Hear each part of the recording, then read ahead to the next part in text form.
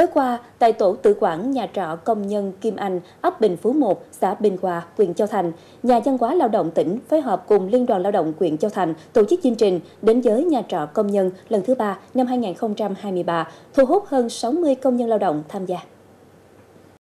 Tham gia chương trình, công nhân lao động được thông tin về Đại hội Công đoàn tỉnh An Giang lần thứ 11, nhiệm kỳ 2023-2028, sắp được tổ chức trong tháng 9 năm 2023 tuyên truyền về dân số kế hoạch hóa gia đình, các chủ trương đường lối của đảng, chính sách pháp luật của nhà nước về dân số, đồng thời phổ biến các chế độ chính sách đối với người lao động, vị trí, vai trò, chức năng, quyền và trách nhiệm của tổ chức công đoàn Việt Nam. Tham gia chương trình, bên cạnh các hoạt động giao lưu văn hóa, văn nghệ, tham gia trò chơi đố vui có thưởng cùng rút thăm may mắn, Liên đoàn Lao động tỉnh đã dành tặng 5 xuất quà cho công nhân lao động có hoàn cảnh khó khăn, trị giá mỗi xuất quà là 500.000 đồng tiền mặt.